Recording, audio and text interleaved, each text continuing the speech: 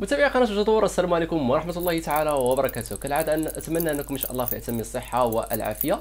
عموما عدت إليكم مع فيديو قصير ومع فكرة بسيطة جدا. فكما قراتم من خلال عنوان هذا الفيديو الكثير منا قد يفكر في شراء تلفاز أو بالفعل لديه تلفاز. وفي الغالب نفضل أن نقوم بتركيب هذا التلفاز على الحائط بدل أن نقوم بوضعه على الطاولة.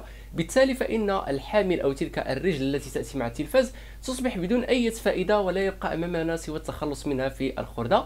لذلك في هذا المقطع الصغير أو في هذه الدقائق القصيرة؟ سوف نتعرف على طريقة بسيطة للاستفادة من هذا الحامل بدل التخلص منه. فقط شاهدوا معي حتى النهاية.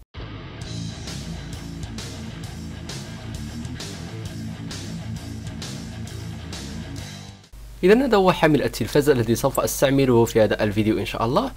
في البداية سوف أحضر قطعة خشبية قديمة من الخردة ثم سوف أحضر يعني بعض ورق السنفرة أو الورق الزجاجي المستعمل في برد الخشب ثم سوف أقوم بحك هذا الخشب بشكل جيد من أجل إزالة الشوائب حتى يصبح أملس بهذا الشكل. بعد ذلك سوف أحضر يعني بعض الطلاء. أنا شخصيا أفضل اللون الأسود. ببساطة سوف نبدأ يعني في طلاء يعني هذه القطعة الخشبية بشكل كامل بهذا الشكل. بعد ذلك سوف أحضر قطعة خشبية أخرى من الخردة لاحظوا معي هذا هو شكلها. ومرة أخرى باستعمال ورق السنفرة سوف أقوم بحكها بشكل جيد. وأخيرا سوف أقوم بطلائها بنفس اللون.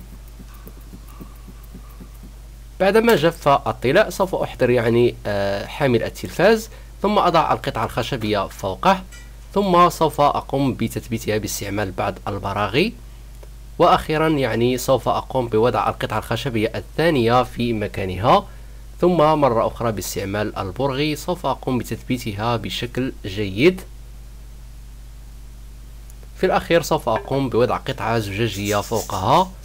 والنتيجة كما ترون طاولة رائعة جدا فقط من حامل التلفاز الذي نتخلص منه.